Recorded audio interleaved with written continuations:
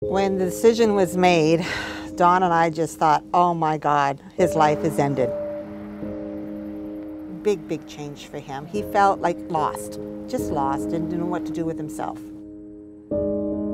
It's Sherry Kroll, the Executive Director at Middlesex Community Living. Middlesex Community Living opened the Mercantile Restaurant about 20 years ago with the intent of operating it as a training environment for people with intellectual disabilities.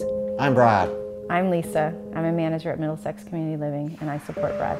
We met back at the Mercantile where Bradley started. I'm the Ministry of Community and Social Services, who is our funder, made an announcement back in December of 2015 that they were going to move away from sheltered environments towards community employment and community participation. Through um, long discussion and a lot of debate, uh, it was determined that it was the best in the best interest of the people that we provide supports to to close the restaurant and to support them in community endeavors.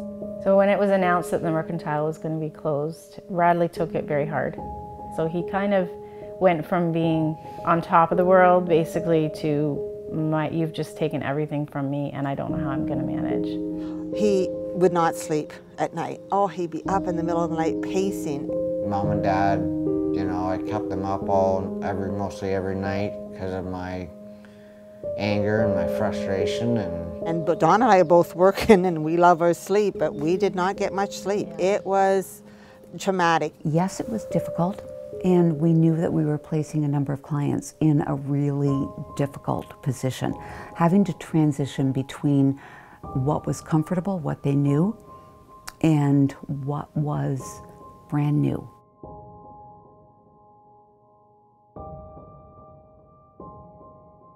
It was a hard road to take, but at the end of the day, um, it was the right decision.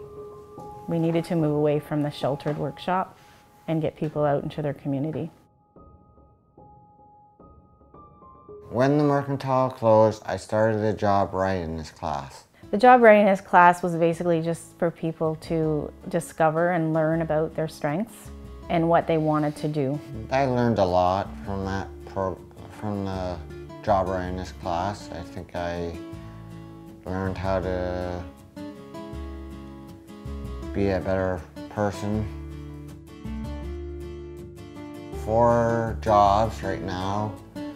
Uh, Mondays are Dennings, which is a funeral home in town. My name's Bill Denning. I am a funeral director here at Dennings. Well, we've always been uh, great supporters of community living and all of the wonderful initiatives that they, they do. Uh, our relationship is just that much stronger now having Brad as a part of our team.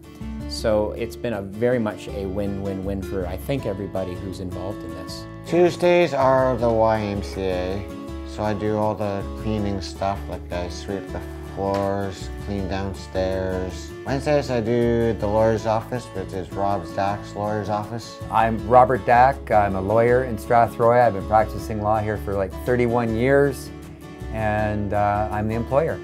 Just, just, he's just a joy to be around. He's so happy to have the job, so happy to be here.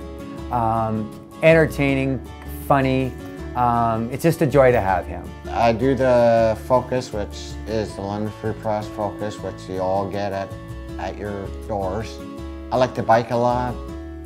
I just mostly bike around the neighborhood. I would really encourage organizations um, to rethink the way that they're providing services. Some of the old traditional model, models in service just don't work any longer, and we really need to be more innovative and creative um, to sustain the service and to really meet people's needs and goals. I would suggest that anybody who's considering a relationship similar to this to give it a try. What you're going to find is that the individual that you bring onto your team really truly becomes a part of that team and everybody is better off for having that relationship. And then when you started to get through it, did you actually help other people? Yes, I did. Because some of them took a little bit longer to get to the point you were at. Yeah. And they started to struggle and they started to feel that. So then I had to go help. Then I had to go help them get better. Well, today I don't think he misses the mercantile at all. Um, he's so busy with everything he does, and he loves the variety of jobs that he is doing. Without question, I look at the stories that we have from clients and the stories that we hear from all of the staff. It's totally been a great choice because we are now integrating clients more into the community.